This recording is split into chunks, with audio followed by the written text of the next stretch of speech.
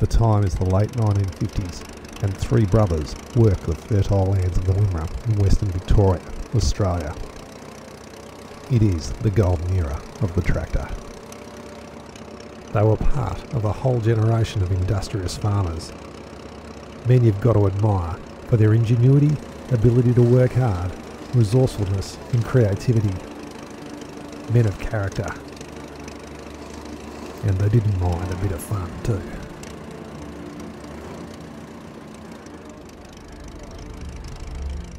This is my dad Les and his two brothers, Ivan and Clary. And this is Grandad Bill. He was part of that last generation to drive the big horse teams. Dad's the last one left now. But they were all young once. And it was in those years that they built it. What they called the double header.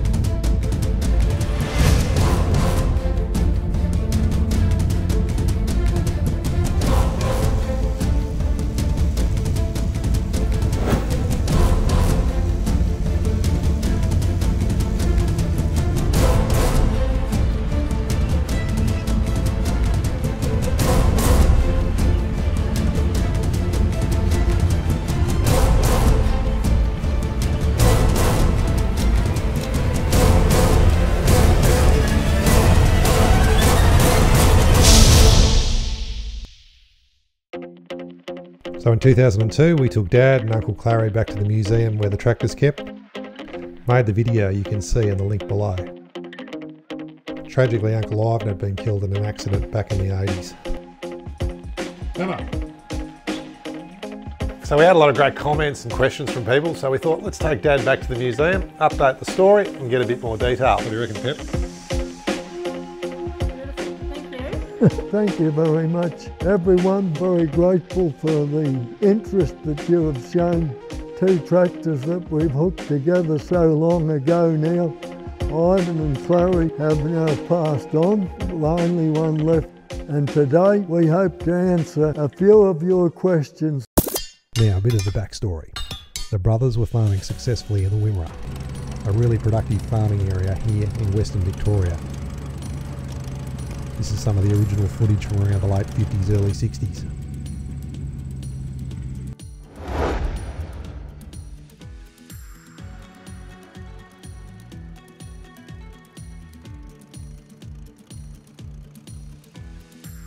But always up for a challenge, they decided to buy a bush farm in South Australia. What was the reason for this? Oh, well, we came to build this track there. We bought a scrub block, common, known as bush block, a scrub block in southeast South Australia. And uh, we want to develop it. But, uh, we're on our way into South Australia. There's a truck with a lot of trouble there by the look of it. Uh, down to the uh, farm that we're developing. Must be at the bush farm already. Yes, we're at the farm. Purchased it in 1958. Then the hard work began to get the land cleared. See the scrub right there, got a very good view of it. And uh, Don French, the controls of that crawler tractor. Makes there, they're dragging the chain first, makes it a lot easier for them to have all the scrub flattened down. Now they'd bought this second-hand English Fowler Challenger, a crawler tractor, for 1700 pounds from Adelaide. You see Clary's busy trying to get her to turn around on one track. It's keeping him busy. His problems on sandy ground there. It's very light country in place. You can see how he's working to get around. Oh, the brother Ivan, I can tell, is now at the controls here. Uh, due to the wear and tear, a very, very uneconomical situation. And being wheat farmers, we were used to ordinary two-wheel drive tractors. Never had the traction, of course. So we had become aware of another tractor that uh, had tried this idea of putting two tractors together. Uh, the chap uh, about five, six miles from our place, he built two for scooping, dams and that. So a bloke by the name of Gordon Mills came up to me one night and he said, you know the fella they went and saw? He's still alive.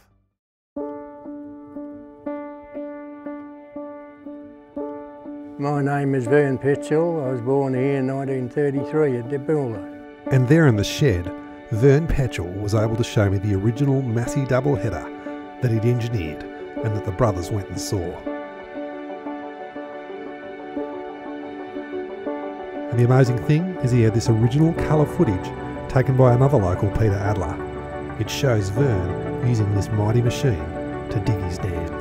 Well, I was doing a little bit of earth moving with one tractor and dual wheels later until I hit on, hit on the idea of two. I saw a photo in a power farming, couldn't see the coupling, but it was two case, uh, case-o-matics joined up. And I thought, gee, that's not a bad idea. So obviously you've got these two tractors here, Vern, and you've got to figure out a way to put them together, right? So you tell us how did you do it? What did you do? Uh, well, I just made up an L-piece coupling to fit in underneath with bits and pieces of steel and, Yeah. and then the steering uh, cylinders and just with an ordinary hydraulic valve and a lever. Uh, three-point hitch hookup to uh, wind the nose up or down for uh, dam sinking.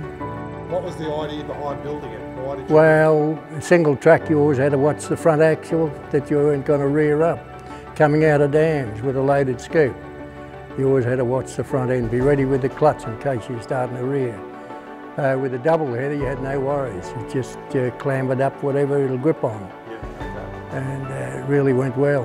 The interesting thing Vern told me is there was another double header here locally before this one. There might have been one other one put together before me, that passed on now, uh, David Peach. Kalalik, he joined a couple of Oliver 80s.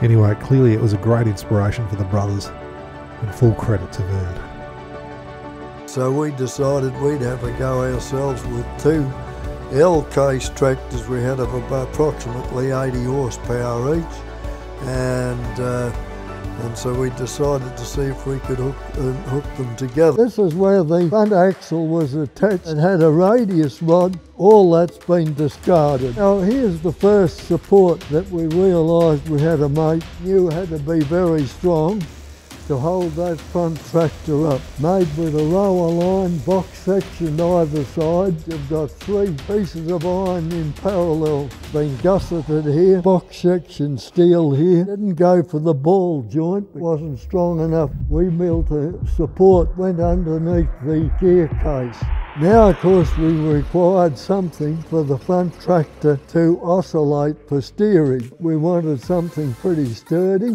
My brother Les, he had the biggest problem there for the steering of it.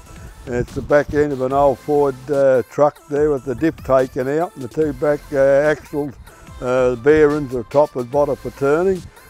rear wheel of a, of a hub of a motor truck.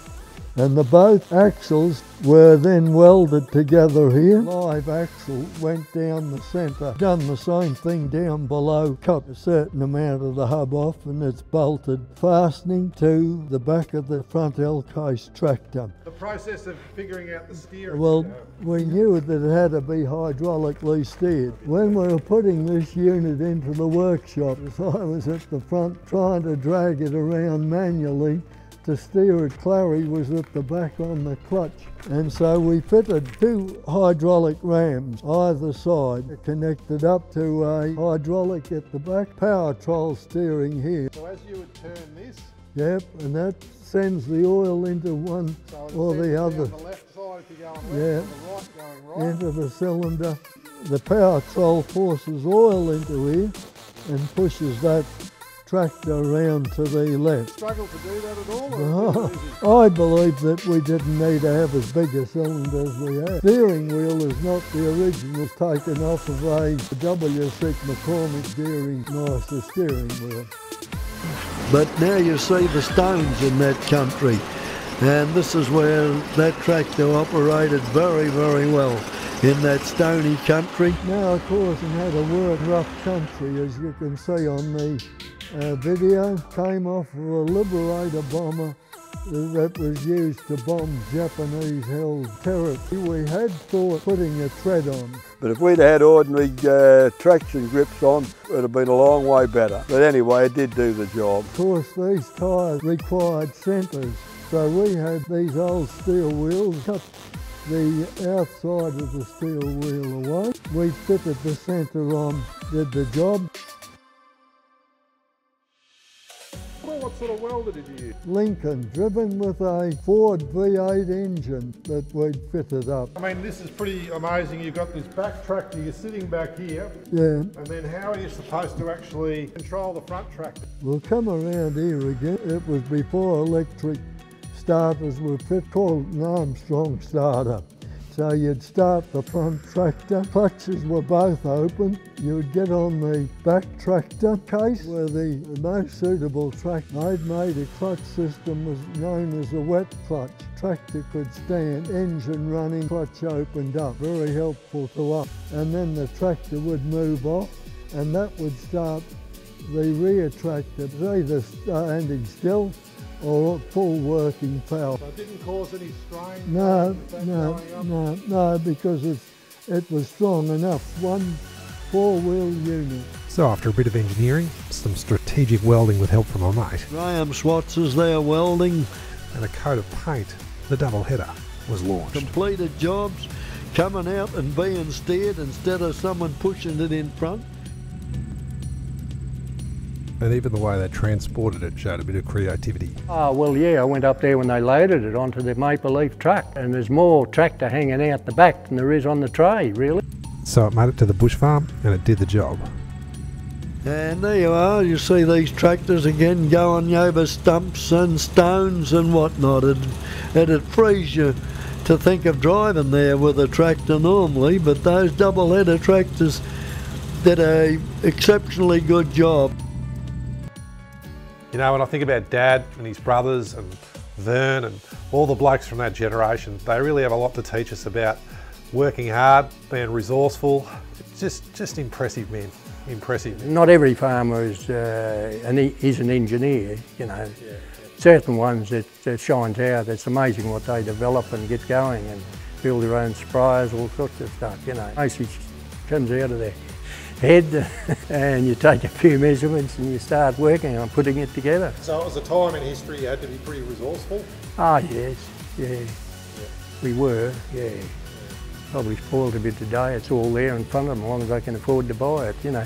Well, at the end of the day, the brothers and I were very, very happy with the twin tractors that we put together. They served the purpose and did a fantastic job for us. So as the doors begin to close on that era, we just give credit to the ingenuity, values and character of that generation. Bonga, bonga, I don't want to leave the. No, no, no, no. You can have your city. You're not like to.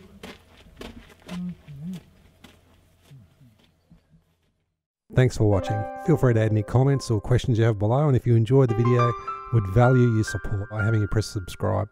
Thanks.